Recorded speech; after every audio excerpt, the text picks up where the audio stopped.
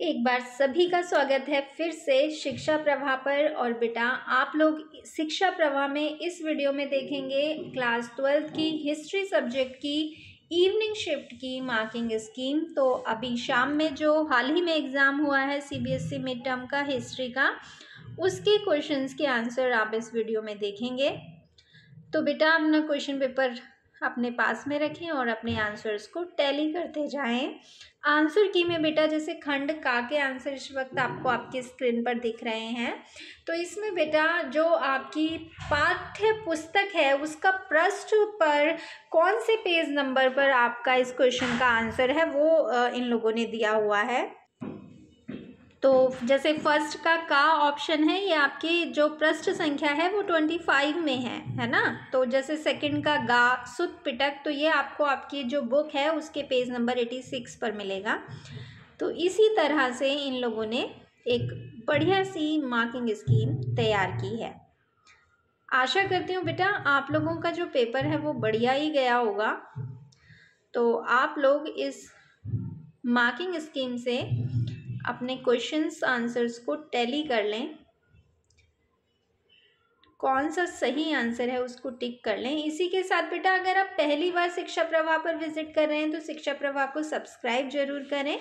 इसी तरह से अपने बाकी सब्जेक्ट की मार्किंग स्कीम आंसर की C B S E sample paper previous year question paper results और बाकी C B S E updates के लिए। खंड खा का सॉल्यूशन बेटा इस वक्त आप लोगों को स्क्रीन पर नज़र आ रहा होगा। खंड गा। आंसर नंबर ट्वेंटी टू किस तरह से हमें अपने आंसर्स को लिखना है, वो एक तरीका हमको यहाँ मार्किंग स्कीम के ज़रिए पता चल जाता है। कौन से पॉइंट्स हम लिख सकते हैं?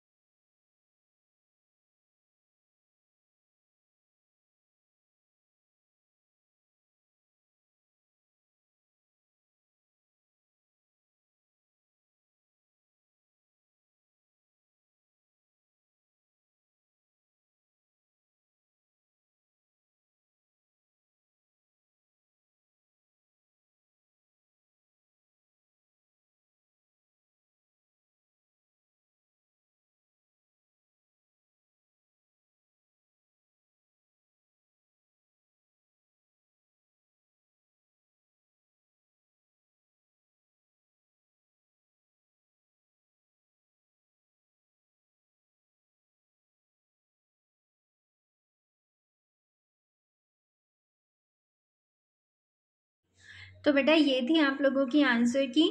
आशा करती हूँ वीडियो आप लोगों के लिए काफ़ी यूज़फुल रहेगा। तो मेरी वीडियो को आप लोगों को लाइक करना है, दोस्तों और स्कूल ग्रुप में शेयर करना है। वीडियो पर कमेंट करना है कि लगभग कैसा पेपर गया आपका और कितने मार्क्स आने की चांसेस हैं। और इसी के साथ शिक्षा प्रवाह को सब्सक्राइब करना है बेल आइकन को ऑल पर सेट रखना है।